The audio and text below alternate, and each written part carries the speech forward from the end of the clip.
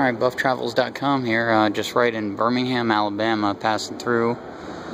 I'm at the Barber Vintage Motorsports Museum. Uh, this is five floors of nothing but motorcycles. It's actually the largest motorcycle museum in the world, at least they claim that it is.